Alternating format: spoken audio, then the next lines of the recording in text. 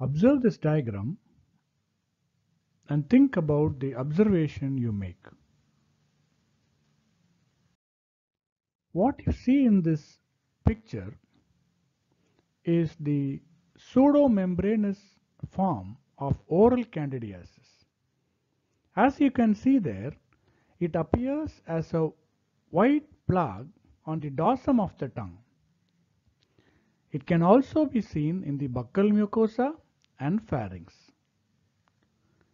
Most often, when this white plug is removed, it leaves an erythematous base which can sometimes bleed.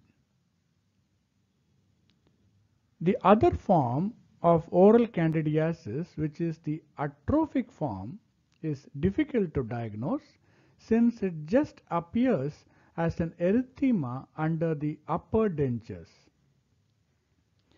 Usually, candidiasis is caused by the species Candida albicans. Most often, it occurs in immunosuppressed persons like elderly individuals, diabetics, and those who suffer from HIV and other immunosuppressed conditions.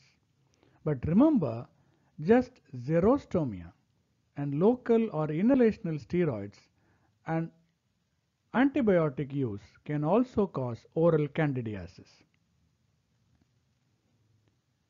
It is treated with either a topical clotrimazole for a period of 7 to 14 days or oral fluconazole at a dose of 150 to 200 milligram once daily for 7 to 14 days.